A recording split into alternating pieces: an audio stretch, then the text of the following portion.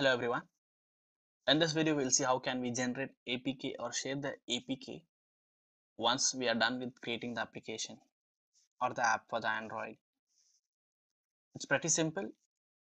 Once you're done with complete making the application and testing, testing can be done via emulator or AI companion.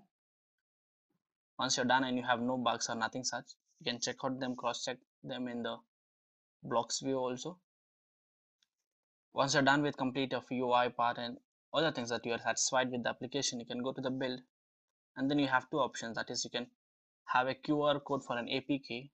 So that will give you a QR code and you, you need to scan that QR code using the QR scanner or even the MIT App Inventor companion also.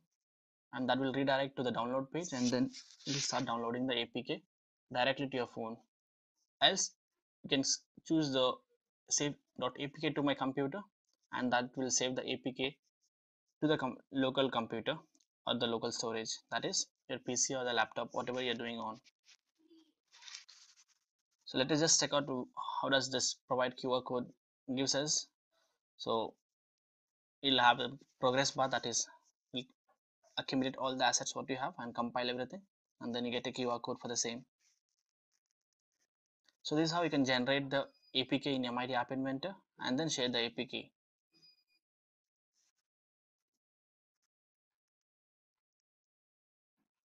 So I got my APK, uh, that sorry, that is my QR code. I can also click on this link directly to download or scan this QR code and note that this QR code will valid be this QR code will be valid for just two hours and after that we need to create a new QR code with this said we end up this video.